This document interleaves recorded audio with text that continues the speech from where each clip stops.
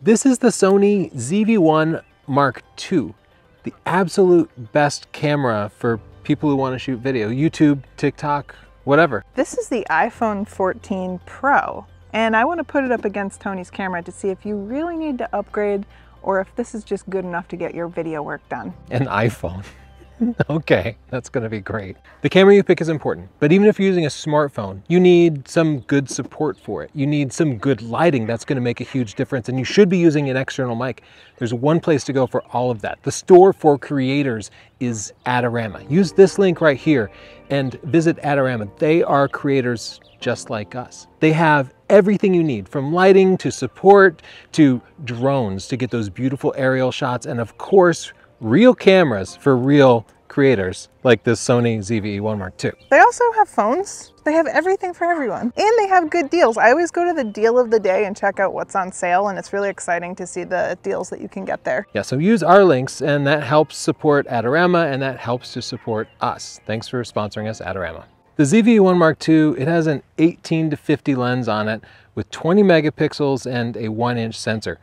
But it also has clear view zoom, so I can zoom in even further down to about 70 millimeters with 4K video or 100 millimeters with HD video because it's oversampling 4K. You can't do that, Chelsea. I, I have a little power I have, zoom I, here.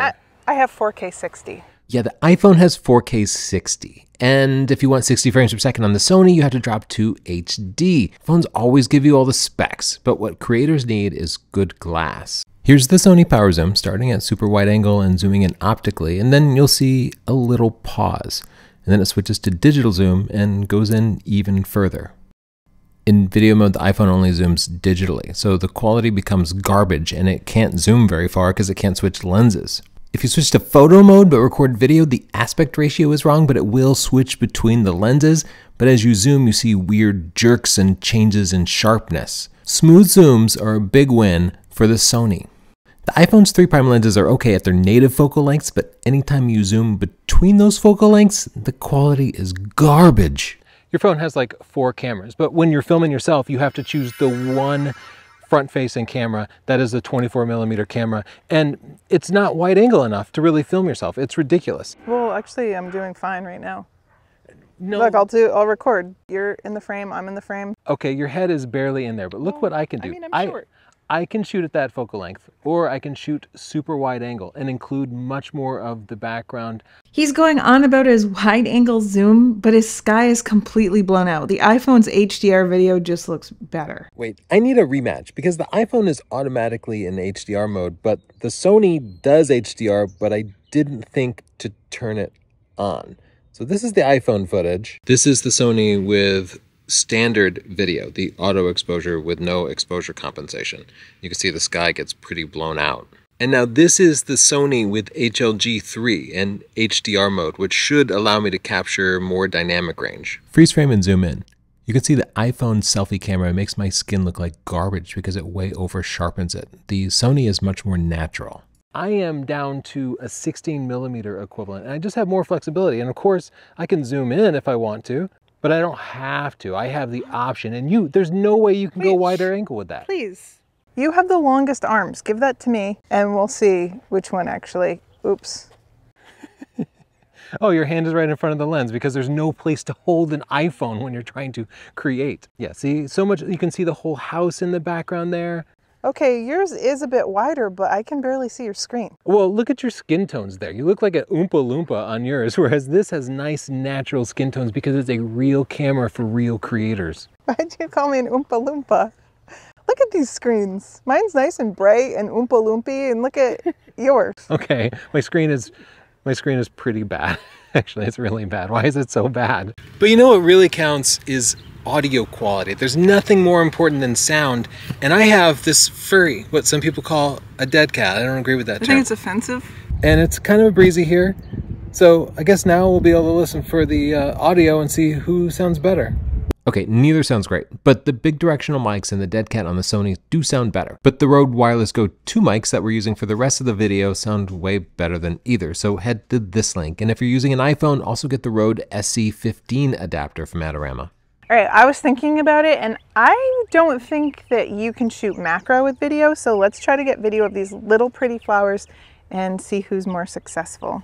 All of the greatest filmmakers have said you you're not shooting video unless you can shoot macro. Holy moly. Do you see mine? Do you see how more macro-y mine is? Well, yeah, but you're zoomed in. Okay, so zoom in. I don't feel like people need to include pollen in their vlogs. This is this is fine. Look, what am I going to go right up inside my nose? Let's review. This gets close enough. Let's review the footage and see whose is better. I can't so much see my screen right now. Can you turn up your screen brightness? It's uh, it's up. I also can't scrub through the video. I mean, yours looks yours looks better now, but when we play it back, when you edit it and share it, mine's gonna look better. Um, wrong. The ZV-1 couldn't match the iPhone's magnification and it struggled with autofocus. Whenever I need a quick close-up, I grab my iPhone and I switch to the 0.5 times lens. It's amazing. Imagine if I had to shoot like this is photography. You hold it with your little fingertips and you hold it out like this. Look, first of all, I can do one-handed shooting. I have a real grip. I have a real shutter button. I can just go and I can take a picture. And in fact, I can zoom and I can do all of this with one hand. And sometimes you have to do that. Like if you're a crazy vlogger like me, you got your electric skateboard remote control in one hand and you're taking pictures with the other. You cannot do that with a phone. Also, it's not stable. Your video is going to be all shaky. Like there's a reason photographers have a, a form factor that looks like this because footage is stable because you can control it. Something else. My tilting screen allows me to get lots of different angles. So I can shoot down low like this. I can have the screen at a right angle to the camera. And right, you would have to get on the ground, right? Because your screen your screen is fixed to your lens. Listen, that's actually my biggest complaint. I will concede that you have the correct form factor, ergonomics, and screen, Thank you. other than the screen brightness. I guess we're done here. I win. As a hip, active vlog person, I'm often so on the go that I can't stop to film something. I gotta film it while I'm walking. And that's why Sony includes active stabilization here. So I can handhold this, no handle or anything, and it's gimbal like smooth. What do you got, Chels? I can also hold things in my hands, like this. Okay, I'm getting nauseous just watching you. I'm having a fine time. I can see your screen and it seems pretty shaky. Um, this seems like a big win for the Sony, for anybody who actually wants to walk around and you don't want to make your viewers sick. In selfie mode, I can't use the action mode in my video, but I can with my rear camera. So let's test that. Do you have action mode on? Yeah. Okay. It's probably all shaky, right? No, it's so smooth. Action mode is okay in sunlight. It's using the super wide angle lens and then cropping way down. So it's not gonna be super sharp. It also needs to be at like one one thousandth of a second because it's stabilizing stuff in post. So it doesn't work in low light. But yeah, it can be good in some circumstances. Well, then let's try your camera and see. Okay. This is Sony's active stabilization mode, and it works the same way, basically like cropping in and then moving the image around because the ZV-1 Mark II doesn't have sensor stabilization or lens stabilization. That's to keep the cost down. And frankly, I think this stabilization is good enough. Good enough for you, maybe, Tony, but my iPhone's footage is much smoother. My iPhone also did a better job balancing the mixed exposure, and it looks just as sharp to my eyes. While the ZV-1 2 was better in selfie mode, the iPhone is better with the rear camera. Uh, I'll call this a draw. All right, I'm filming Tony in cinematic mode. It blurs the background and it adds some different tones to it.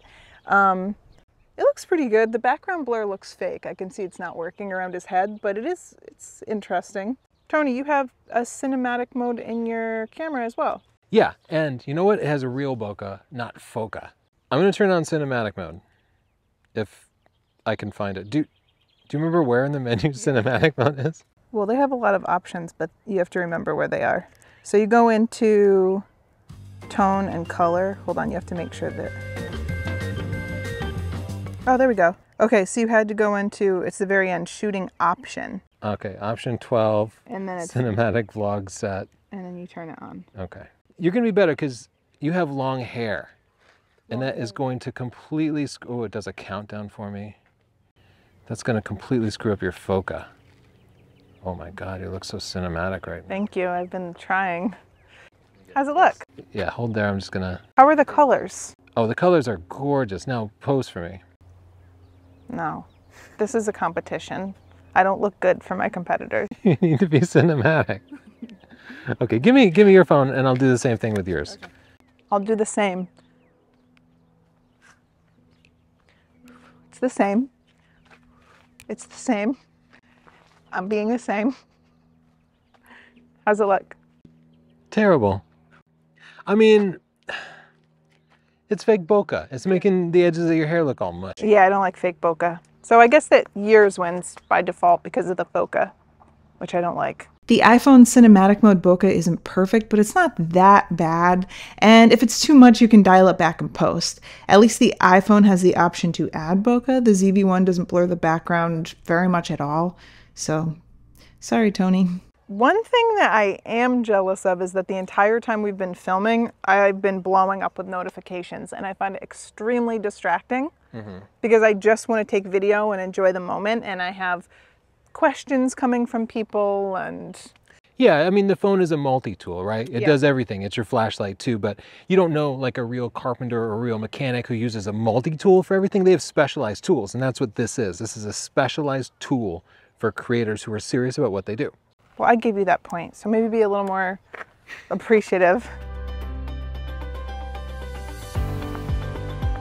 Let's talk about workflow because I know I can take any of the videos or pictures that I took today and just share them immediately or edit a video and upload it directly or do a live even. So what's your process like? I have the Sony Creator app, Well, and it it will out. copy files from my uh, camera to my phone. Sometimes I found that the apps can be good and I'll use them or they can be kind of fussy and temperamental and it can be frustrating to use. So Yeah, actually, should we grab a seat? I don't know. This could Let's take see. a while. I have a I have a couple minutes. Let's see what you got. Okay, I'm doing it. Start connecting. Oh, it popped right up. I didn't have to do anything. It's connecting. It just says select an accessory, and there's no accessory.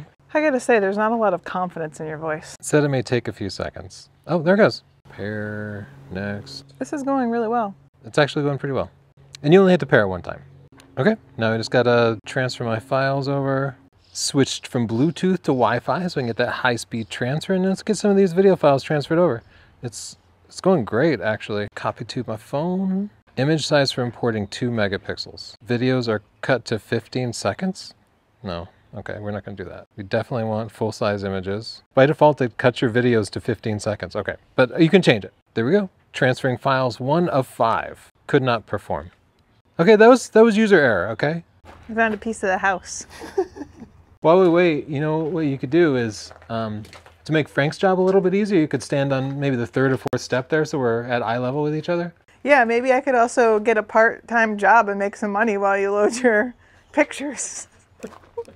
I'll have you know I'm already at one of five. it's about one fifth of the way through one of five videos. Tony, I just texted eight videos and a picture to all of our friends and family, and I got a part-time job and I made enough money to make up for all this time you're wasting. The wireless transfer is not practical, but what is practical is you take the memory card out of the camera and you put it into an Apple SD card reader, which you can get at Adorama, along with so many other accessories that creators need. Now, I wish the wireless transfer worked because it does. It's very fast on the iPhone. It's They're probably fine for pictures. It well, it compresses it down to two megapixels, so it can be a little quicker. Mm-hmm. That's why I recommend getting the Apple SD card reader. But Adorama has that, and tripods and lights and everything else that creators need, in addition to this camera. And when you transfer it with the SD card, it happens very quickly and easily, so you don't actually have to go through this. If you want to check out any of these items or get great deals, and they even give you free stuff when you yeah, order things, that's why I shop there. you can go to Adorama and check out the links down below. Thanks so much, Adorama, for sponsoring this video. All the links are in the description, and I'm now on two of five. One of my videos has already been transferred over. Where? The to my to my phone. That did not go great for me. But there's one test I will definitely win, and that's low light performance. Because I have a one inch sensor, I have an f1.8 lens, and you have a tiny little smartphone lens. So let's go to the basement at home and see what real low light performance is like. That sounds threatening. Maybe only one of us will leave. So for our low light test, I'm at ISO 12800. I'm at f1.8 and oh, I mean, look at yours. You can't even, all you can see is the candles. Can you expose for the faces? Oh, she's trying to drag up the exposure and it's not working. it's not that dark here. This is like what a restaurant or a bar or a club would Yeah, be. this is, but um, this is also my selfie camera, so I would probably turn it around. And oh wow, that's much better. Well, yeah, but what if you're filming yourself? I don't do that. I'm not narcissistic. You're on camera like four hours a week. And I don't enjoy one minute of it. And I could just go like this and I, I turn it like this. I know where I am. Uh, What I do when I have to do that is I'll use the camera app on my watch. And then you can kind of compose the shot while using the rear screen. But that is the benefit of the flip screen is I can flip around and I can use the fast good lens for everything. You get a totally different experience when you're using the front or the back camera and you have to think, oh, I'm in low light, so I can't use the telephoto lens, I can't use the super wide, I have to use only the main back camera. This, any angle, anytime, you get consistent results because that's what creators need for tools. And that's what the strength of this camera is. So, full disclosure, this is the camera I use when we're traveling and I'm vlogging because my phone is not enough to get shots like that in low light. And it also obviously has many more benefits that we've outlined in this video. So, that's definitely an application where it's better. But I think even for me, it doesn't replace my iPhone. I still use the iPhone all the time. And I, but I am aware of the strengths and the weaknesses, and that's why I have different tools for different things.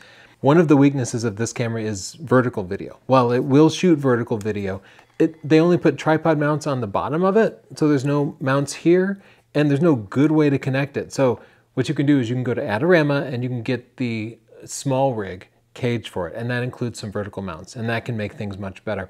But still, even now, the user interface doesn't rotate to vertical. It's clear Sony hasn't really thought through the entire process of recording vid- vertical video for TikTok or Instagram, so I still often use the phone for that. But overall, I think it's a better option than the phone. In summary, both the iPhone and the ZV-1 Mark II have different strengths and we use them both in our productions. The iPhone's action mode is better at stabilizing moving footage, but it only works with the rear camera. If you have to use the front camera, the ZV-1 is better, well, all the time. It has better skin tones, better optical zoom, better sharpness, better stabilization. The iPhone does work better for vertical video, and the screen is easier to see in sunlight. And the iPhone, of course, is easier for sharing and live streaming. The ZV-1 is better for one-handed filming, and the ZV-1's tilt screen makes interesting angles easier. The ZV-1's optical zoom offers smooth zooms and better sharpness between the iPhone's native focal lengths. And the ZV-1's on-camera mic makes better sound, though they both need an external microphone for the best results. Finally, the ZV-1 is a big win in any kind of low-light situation. If you want to buy this, use our link here and that'll take you to Adorama. They're sponsoring this video, but that's where we shop because Adorama is a store made for creators by creators. When you buy something, you can often get some free stuff, memory card, filters. The deal of the day. And you can also sign up to be a part of a points program where you can earn points and get money off. I'm a VIP member and that saves me money. Every time I buy something, I get money back and I use that to buy more gear.